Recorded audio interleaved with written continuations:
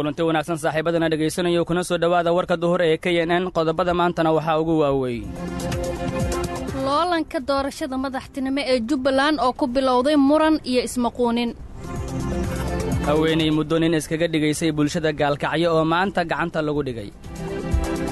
Dowladda soomaaliya oo amar dul dhigtay hay'adaha ajaanibta ee deggan xerada xalan ee muqdisho. Dagaalamayaal iyo saraakiil al-shabaab ka tirsan oo lagu dilay dagaal ka dhacay gobolka hiiraan wakiilka cusub ee qaramada midoobey ee arrimaha soomaaliya oo ku wajahan magaalada garoowe. Madaxweynaha somalilan oo maanta dib ugu laabtay hargeysa kadib safarkii uu ku tegay geni faahfaahinno ka soo baxaya meydka gabarh toban jir ahayd oo xalay lagu arkay gobolka galgaduud. Iiraan oo mar kale ku dhawaaqday go'aan ka dhan ah heshiiskii nukliyerka. Iyo qaraxyo ay dad badani ku dhinteen oo ka dhacay gudaha dalka afganistaan mar kale ku celi. War bal warran maxaan kaaga warramaa? Xaaladda dalka dee ma run baad rabtaa mise been? Run baan rabaa beenraad ma leh. Kulmiye ka dhegayso. Wayna kaa haddaba intaasi waxay ahaayeen qodobadii wararkeena ugu waaweynaa. Iminkana waxaad ku soo dhowaataan warkii oo dhammaystiran wadajir. Waxaa idinkugu warramaya doorkan cabdiqani cabdulaahi iyo anigoo xawluul cubayd. Warka waxaa soo saaray cali ibraahim cabdulaahi taariikhduna waa toddobada bisha toddobaad sannada labada kun iyo sagaaliyo tobanka.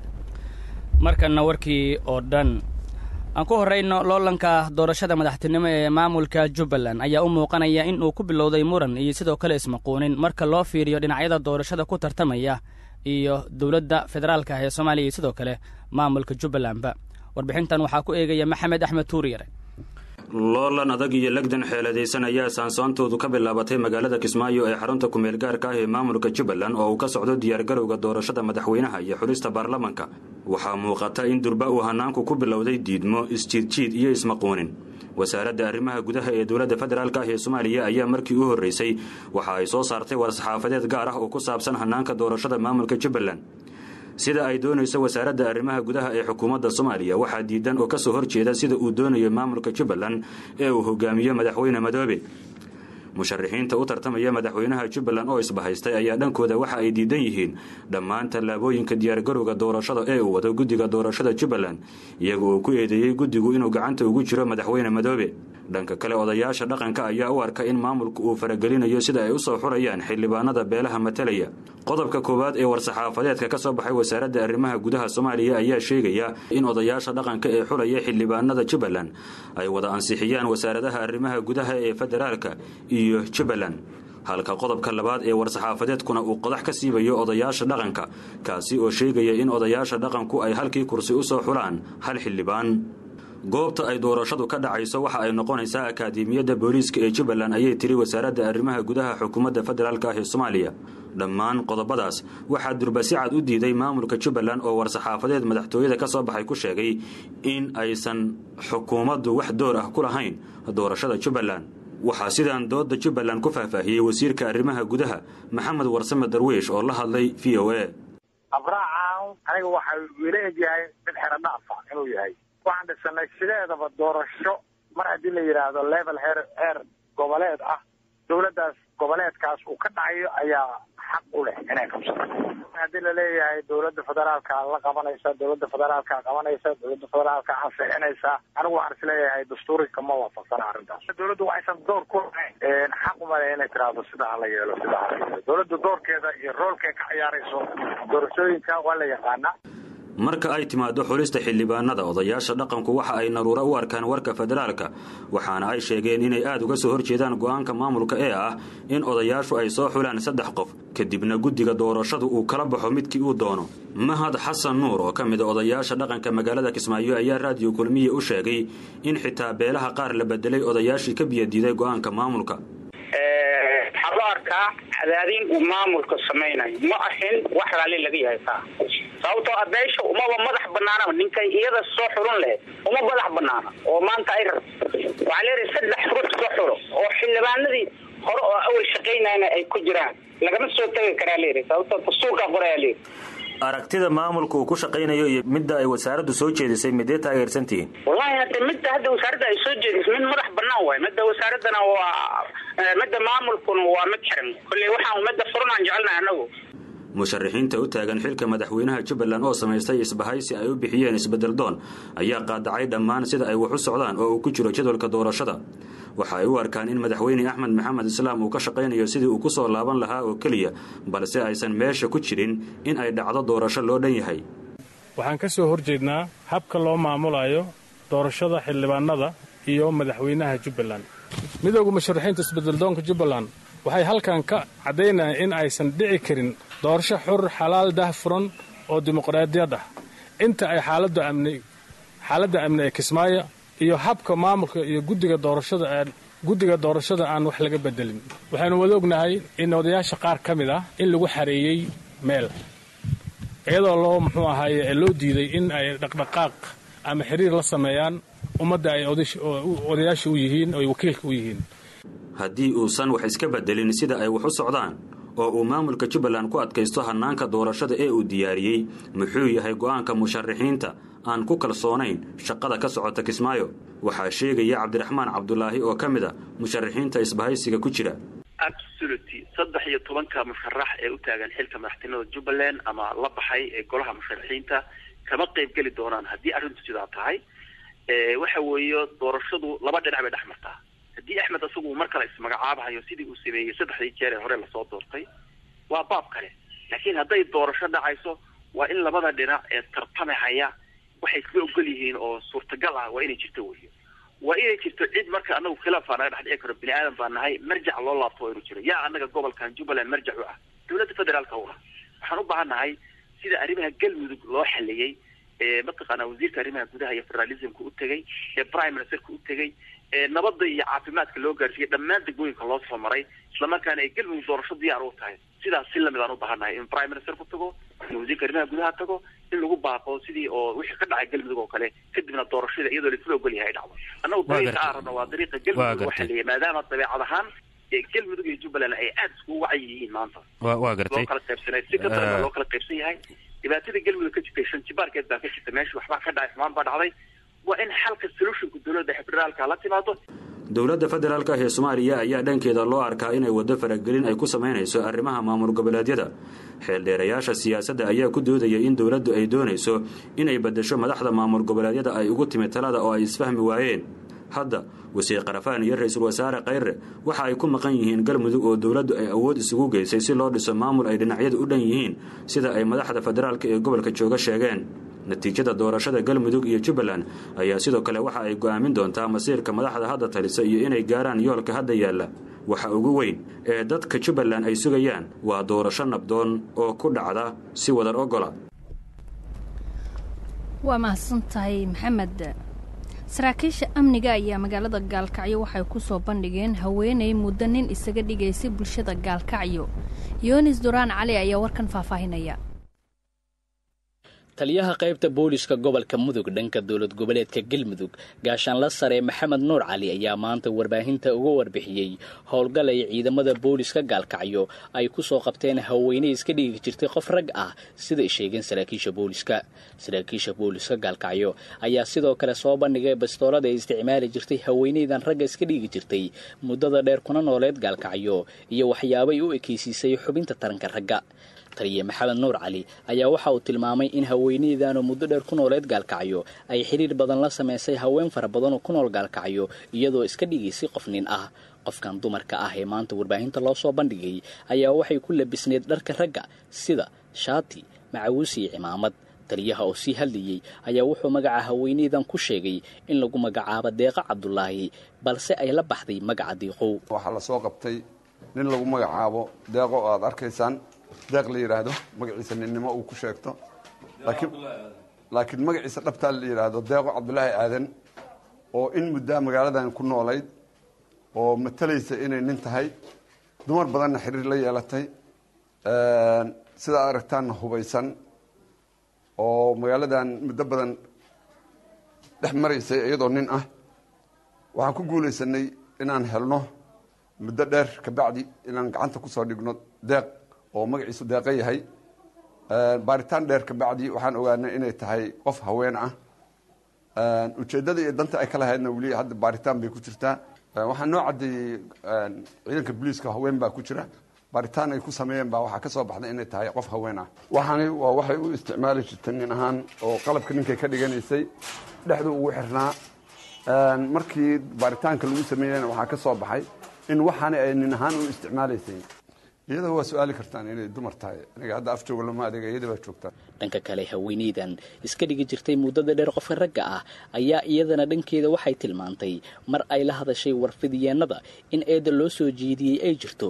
Hubka lagu soo qabtana ay ku ilaashan jirtay goob ganacsi ay ku leedahay magaalada gaalkacyo idiinta liigu soo eedeeyey oo ay jidhaa dumar baana. Hubka waxaan u watay dukaan baan leeyahay dukaankan ku waardiyeysta meel go'aan meel goondhara ah qofna kuma dilaano qofna wax kuma yeelo. Gabadhan gabar cunug iyo iyadoo nafteeda halligaysa baan gurigeyga keenaanu si rasmi ah looma ogo. Waxaa ku sababay haweeneydan in muddo dheer iyada oo dumar ah ay iska dhigto qof rag ah balse saraakiisha booliska ayaa sheegaya in dhacdadan ay baaritaan ku hayaan. Arrintan oo ah dhacdo ay aad ula yaabeen dadku ku dhaqan magaalada gaalkacyo ayaa gudaha magaalada waxay ka abuurtay hadalhayn badan oo ay isweydiinayaan dadkii yaqaanay haweeneydan oo muddada dheer iska dhigaysay qof rag ah iyo dadkii maqlayba waayahay muqdisho aan dib ugu soo laabanno dowladda federaalka ee soomaaliya ayaa maanta waxa ay amar dul dhigtay hay'adaha ajaanibta ah ee degan xarunta xalane ee muqdisho ama ay xaruntoodu tahayba. Waxaana amarka uu yahay mid ku aadan garoonka diyaaradaha aadan cadde international airport ee muqdisho. Sida warkan uu ku dhammaystirayo cali cilmi salaad warqad ka soo baxday xafiiska wasiirka gaadiidka iyo duulista hawada ee soomaaliya ayaa fariin loogu diray hay'adaha caalamiga ah ee degan xerada xalane ee magaalada muqdisho sida qaramada midoobe midooda yurub amisom safaaradaha caalamka shirkadaha duulimaadka iyo dhammaan hay'adaha kale ee caalamiga ah. Wasaaradda ayaa warqadda ee soo saartay waxay hay'adahaas ku ogeysiisay magaca rasmiga ah ee garoonka diyaaradaha inay u isticmaali karaan oo keliya garoonka diyaaradaha caalamiga ah ee aadan cadde oo ah magaca saxda ah balse aysan u isticmaali karin garoonka diyaaradaha caalamiga ah ee magaalada muqdisho. Hay'adaha iyo ururada caalamiga ah ayaa u isticmaala magaca garoonka diyaaradaha ee aadan cadde. Garoonka caalamiga ah ee muqdisho taas oo dowladda soomaaliya ay u cuntami weysay. Magaca garoonka ayaa waxaa loogu magacdaray allaha u naxariistay madaxweynihii ugu horreeyey ee soomaaliya aadan cabdille cismaan aadan cadde kaas oo geeriyooday labada kun iyo siddeeddii. Warkan ka soo baxay dowladda soomaaliya ayaa lagu sheegay in lagu weyneynayo magaca madaxweyne aadan cabdulle cismaan aadan cadde wariyaha idaacadda kulmiye ee magaalada beledweyne cismaan aadan carays waxa uu soo sheegayaa in dagaalamayaal iyo saraakiil al-shabaab ka tirsan lagu dilay dagaal ka dhacay gobolka hiiraan.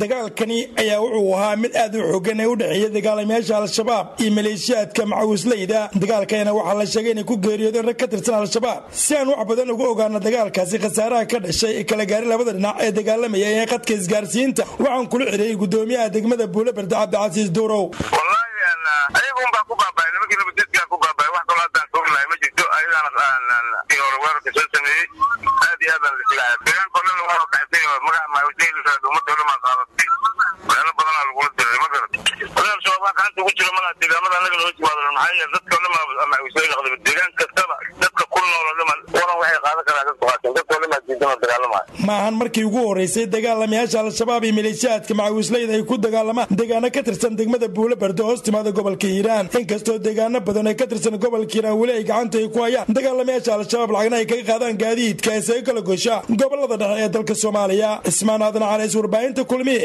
beledweyne markanna haddii aan egno magaalada hargeysa halkaas maanta waxaa gaaray madaxweynaha somalilan muuse biixi cabdi kadib safar maalmo qaatay oo ugu maqnaa dalka gini waxaana xusid mudan in dowladda federaalk ee soomaaliya ay gini maalmo ka hor ama khamiistii la soo dhaafay xiriirka u jirtay. Warkan waxaa hargeysa ka soo diray ilyaas cabdi cali. Madaxweynaha somalilan muuse biixi cabdi ayaa boqolaal shacab oo ku nool magaalada hargeysa ay ku soo dhoweeyeen garoonka diyaaradaha ee magaalada hargeysa kaasi oo ka soo laabtay safar lix maalmood qaatay oo uu kaga maqnaa magaalada hargeysa iyo somalilan safarka madaxweynaha ayaa waxa uu ku tegay dalka jamhuuriyadda guinea conokary kaasi oo uu la kulmay madaxda ugu sarreysa dalkaasi ee madaxweyne alfa conde. Madaxweynaha somalilan muuse biixi cabdi oo shacabka kula hadlay markii uu soo degay magaalada hargeysa waxa uu sheegay in madaxweynaha dalkaasi uu ka garaabay. Qadiyadda ay raadinayso madax bannaanida somalilan waxa uu sheegay inuu madaxweyne alfa conde uu u ballan qaaday in qadiyadda somalilan uu geyn doono midowda afrika islamarkaana lagaga doodi doono halkaasi. Madaxweynaha somalilan muuse biixi cabdi waxa uu madaxda soomaaliya ku eedeeyey inay somalilan ka xun yihiin jiritaankeeda islamarkaana somalilan aanay u joojinayn xukuumadda madaxweyne maxamed cabdulaahi farmaajo.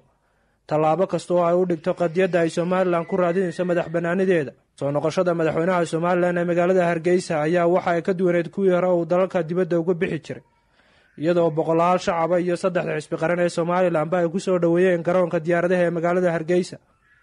Waa markii u horreysay ee xisbiyada somalilan ay u midoobaan in madaxweynaha ay soo dhoweeyaan iyadoo dadka shacabkaana maalmahanba loogu baaqayo in laga hortago madaxweynaha. Si loo weyneeyo qadiyadda somalilan ee uu geeyey dalka kini ilyaas cabdi cali kulmiye hargeysa wakiilka cusub ee qaramada midoobay ee arrimaha soomaaliya ayaa ku wajahan magaalada garoowe. Jemes iswan ayaa socdaalkiisa garoowe waxa uu noqonayaa kii ugu horreeyay ee ku tago garoowe tan iyo markii la soo magacaabay. Cumar maxamed soomane ayaa warkan dhammaystiraya ergeyga gaarka xogeyaha guud ee qaramada midoobey u qaabilsan arrimaha soomaaliya ambasador jemes swam ayaa markii ugu horreysay saacadaha soo socda waxaa la filaya in uu socdaal ku tago magaalada garowe ee caasimadda maamulka puntland wararka aanu ka helayno xafiiska madaxtooyada ee madaxweyne saciid cabdulaahi deni ayaa sheegaya in jemes swam uu halkaasi kula kulmi doono madaxweyne deni ku-xigeenkiisa axmed karaash iyo xubno ka tirsan golihiisa xukuumadda. Waxaana inta badan mas'uuliyiintan isla soo qaadi doonaan qodobo dhowr ah oo ku saabsan xaaladda dalka gaar ahaan dhinacyada amniga iskaashiga dowladda dhexe iyo maamul goboleedyada iyo arrimaha doorashooyinka ee jubbaland iyo galmudug. Mas'uuliyiintan ayaa sidoo kale waxaa lagu soo warramayaa in ay ka wada hadli doonaan xoojinta wada shaqaynta puntland iyo xafiiska qaramada midoobey u qaabilsan arrimaha soomaaliya oo master swam xilkaasi loo soo magacaabay soddonkii bishii mey ee sanadkan kadib markii dowladda soomaaliya ay dalka ka ceerisay ergegii ka horreeyey ee nicholas haysom waxaa kale oo wararka ay sheegayaan in ay ka wada hadli doonaan xaaladda amni iyo tan siyaasadeed ee soomaaliya gaar ahaan xiriirkii dowladda dhexe iyo maamulka puntland oo aan wanaagsanayn maadaama puntland ay bishii mey sanadkan xiriirkii wada shaqaynta ahayd ay u jartay dowladda federaalka ah ee soomaaliya. Puntland ayaa kol hore waxa ay u ballan qaaday in ay si dhow ula shaqayn doonto ergeyga cusub ee qaramada midoobey u qaabilsan arrimaha dalkan sida ku xusan dikreeto saddexdii bishii juun ee sanadkan ka soo baxday xafiiska madaxweyne siciid cabdulaahi deni oo lagu soo dhoweynayey magacaabista jemes swam markanna gobolka galgaduud haddii aan eegno faahfaahinno dheeraad ah ayaa laga helayaa meydka gabar toban sano jir ahayd oo xalay lagu arkay gobolka galgaduud gaar ahaan deegaanka godin laba la yidhaahdo xafiiska k n n gobolkaasina waxaa u suurto gashay in ay la hadlaan qoyskii gabadhaasi dhalay. Maxamed cabdiweli tuxow oo dhuusmareeb ku sugan ayaa warbixinta nooga soo diyaariyey wararkaan ka helayno deegaanka godinlaba ee ka tirsan gobolka galgaduud ee bartamaha soomaaliya ayaa waxay sheegayaan in halkaasi lagu arkay meydka gabar daayar ah oo la sirqiyey. Qaar ka mid ah dadka ku noola deegaanka godinlabe ayaa tegay halka lagu arkay meydka gabadha yar oo daahaan lagu qiyaasay sagaal sano jir islamarkaana halkaasi markii dambe laga soo qaaday meydkaasi. Ha yeeshee warar kala duwan ayaa ka soo baxaya meydka gabadha waxaana dadkii tegay halka lagu arkay meydka ay sheegeen in jirkeeda uu ka muuqday jirdil xoogan oo loo geystay dilka ka hor ehelada gabadha yar ee la dilay ayaa marxuumadda magaceeda ku sheegay sagala garaad axmed taasi oo ka mid ahayd dadka ku noola deegaanka godinlabe ee ka tirsan gobolka galgaduud ee bartamaha soomaaliya. Cabdiqaadir axmed faarax oo ka mid ah ehelada gabadha la dilay ayaa ka sheekeeyey sida ay wax u dhaceen isagoona sheegay in ciidamada booliiska deegaanka godinlabe ayaa gaarsiiyeen arrintani islamarkaana la ogaaday cidda dilka geysatay gabadhu waxay u dhimatay oo ay samasatay waad garanaysaa reer miyiga degan bay joogtay. Gabadha yarta ardayeed bay ahayd. Qur'aan bay dhiganayso oo waxay aadaysay dugsi. Reerkuna waa adeegsanayey shala galab goor koob iyo tobankii iyo ilaa afartan daqiiqo lagu sheegay oo labiyo tobanku ay sii dhacayeen.